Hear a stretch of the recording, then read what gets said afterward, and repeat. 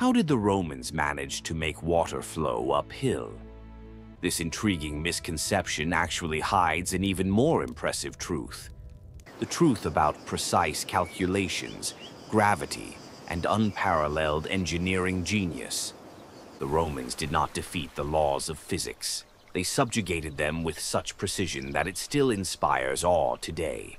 They created arteries of stone and concrete that carried life to their vast cities, feeding fountains, baths, and homes.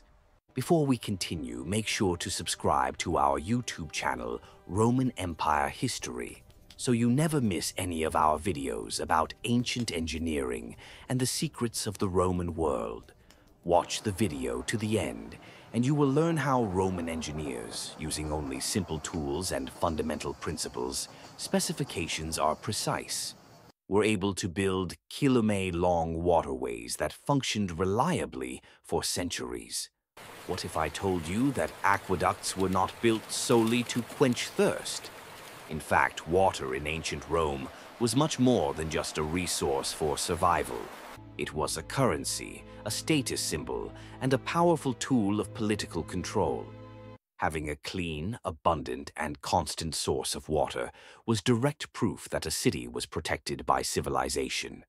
Early Rome was completely dependent on the Tiber River, but as the city grew, its waters became increasingly polluted.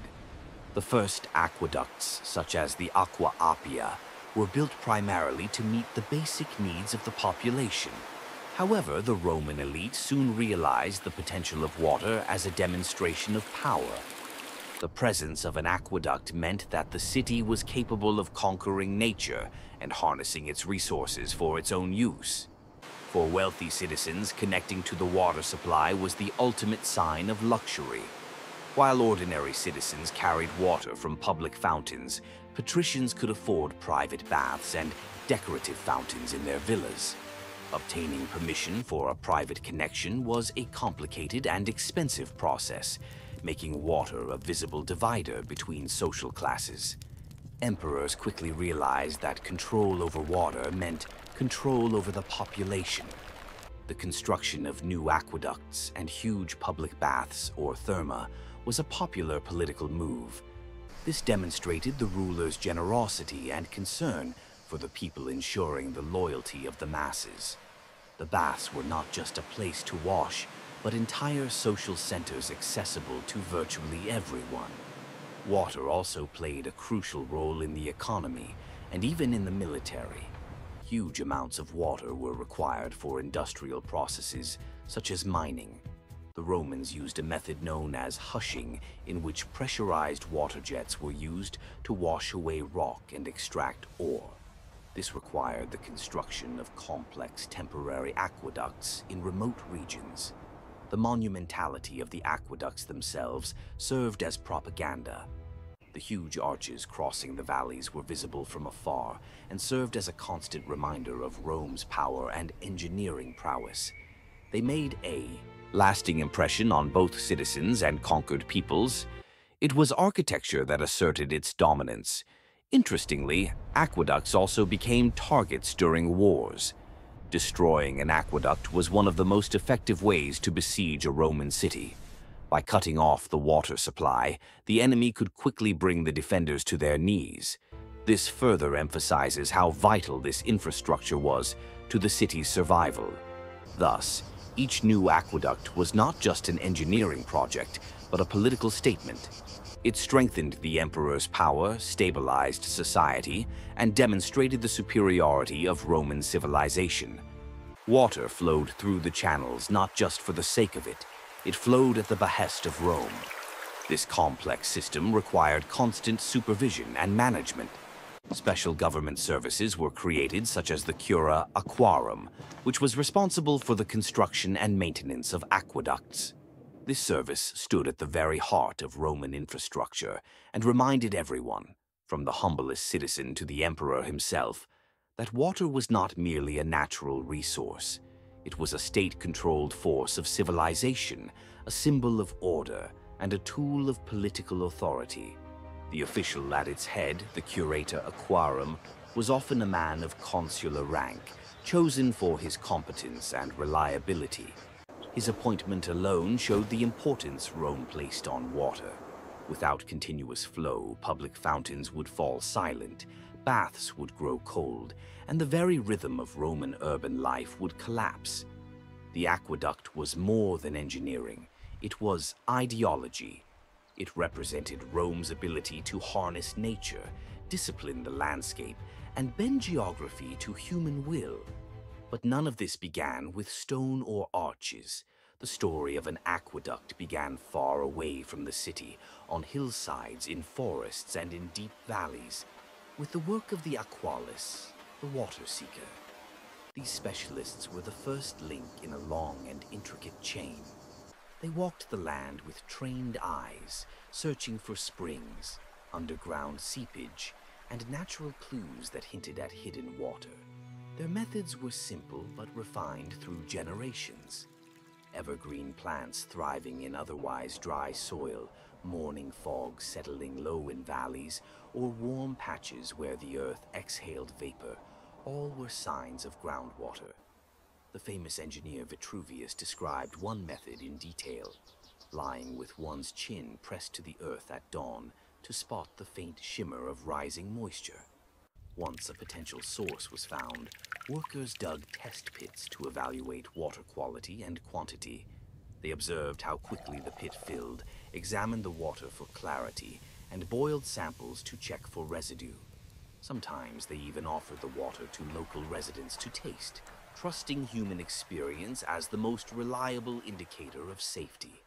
If the source was too weak, Romans did not abandon it immediately. They often built underground drainage tunnels that converged various small trickles into a single strong flow. Selecting the source was only half the struggle. Next came negotiating with landowners. Roman law strongly protected private property, so engineers had to secure every meter of ground through purchase or agreement. This legal maze could delay construction longer than any technical difficulty. Once permissions were secured, surveyors began the most extraordinary part of the entire endeavor, calculating a slope so gentle that the water would flow steadily for tens of kilometers without stagnating or rushing too fast. Roman engineers mastered gravity with astonishing precision, relying on tools that appear primitive to us, yet remain astonishingly effective. The most important instrument was the chorobates, a long wooden beam supported on legs with a shallow channel carved across the top. When filled with water, the channel showed true horizontality. If the water touched both edges evenly, the beam was perfectly level. When wind disturbed the surface, surveyors confirmed alignment with plumb lines hanging from the sides. With this simple device, they determined and maintained slopes, sometimes as small as one meter per kilometer. Too steep and the channel risked destruction, too shallow and the water might stagnate. The aqueduct to Nîmes, including the famous Pont du Gard, descended only 34 centimeters per kilometer, so slight that the naked eye cannot detect it. Yet over its 50-kilometer course, the water flowed smoothly, guided only by gravity and human calculation. For more complex measurements, like aligning tunnels through hills, surveyors used the dioptra, a precursor to modern surveying instruments capable of measuring angles with surprising accuracy.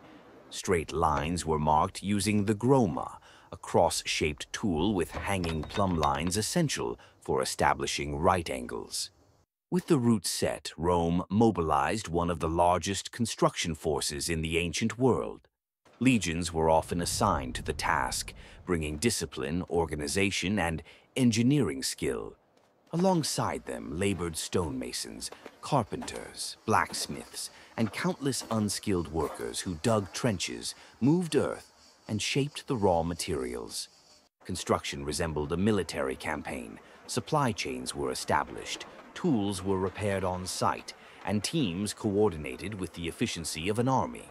Whenever possible, engineers followed natural contours, but obstacles inevitably arose.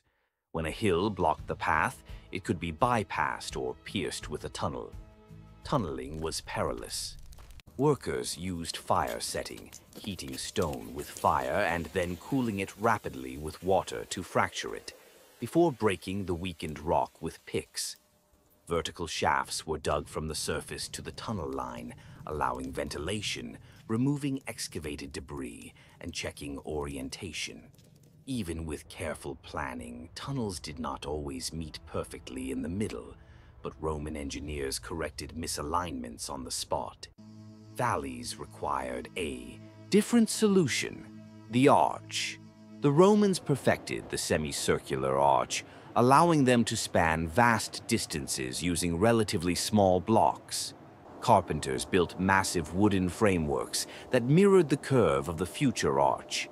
Masons then placed wedge-shaped stones along this curve, moving inward until they reached the keystone. Once the keystone was set, the arch stood on its own and the wooden frame could be removed. Multi-tiered arcades like those of the Pont du Gard allowed aqueducts to cross deep valleys with elegance and strength. But most aqueducts were far less visible. About 80% of their length ran underground, protected from weather, contamination, and enemies.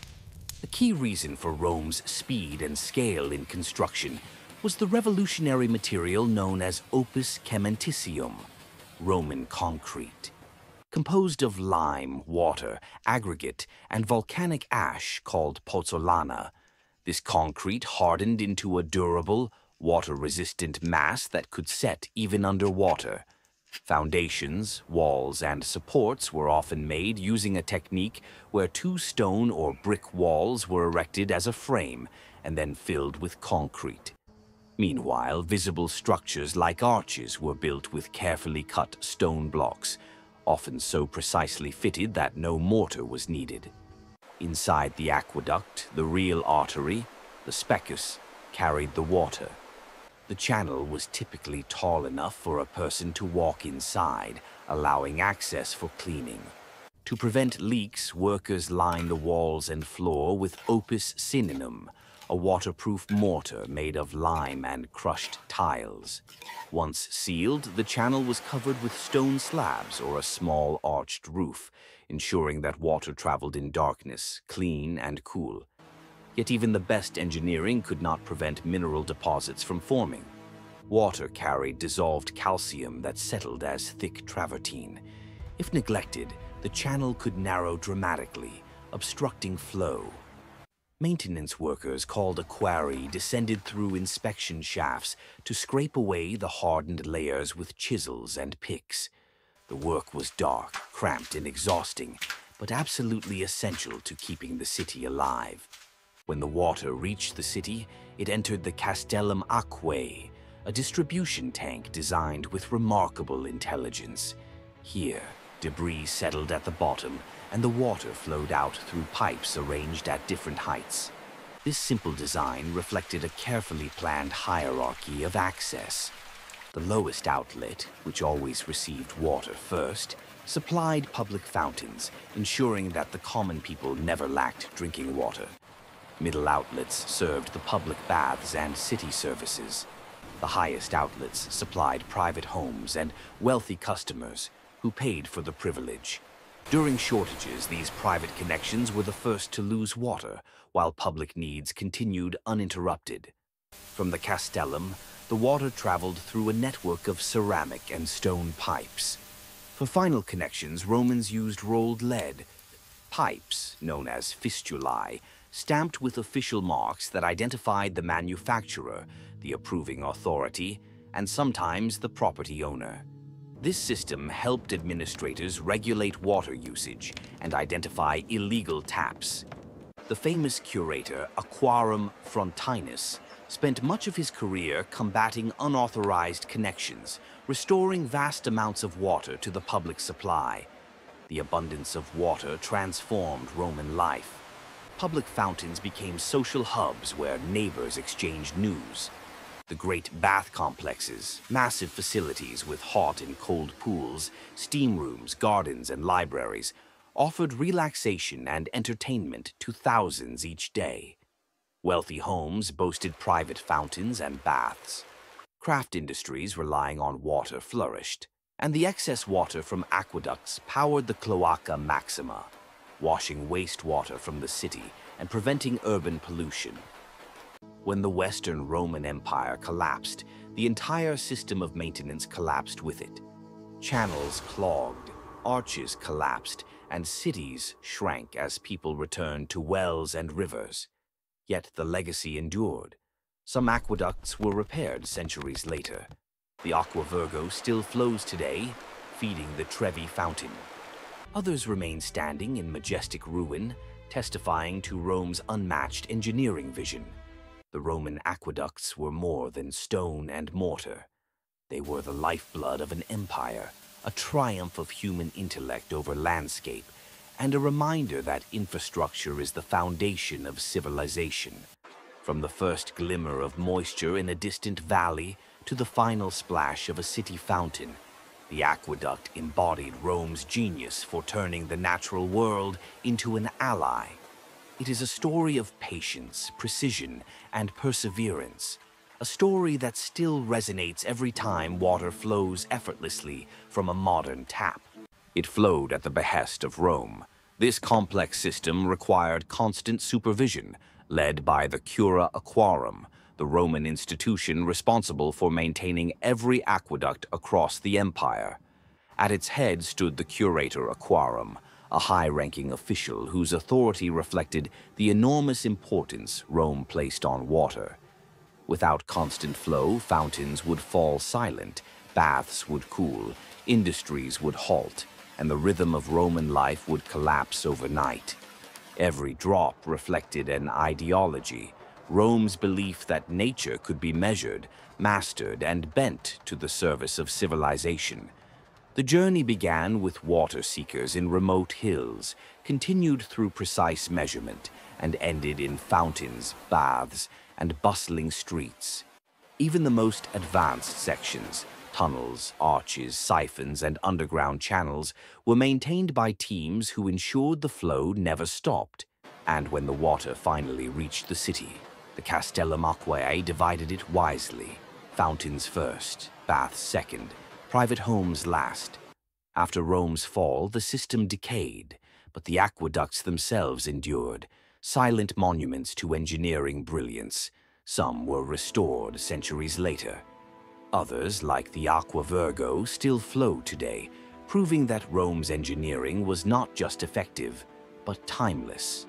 The aqueducts were Rome's lifeblood, a triumph of patience, precision, and genius that still shapes our world every time water flows from a tap.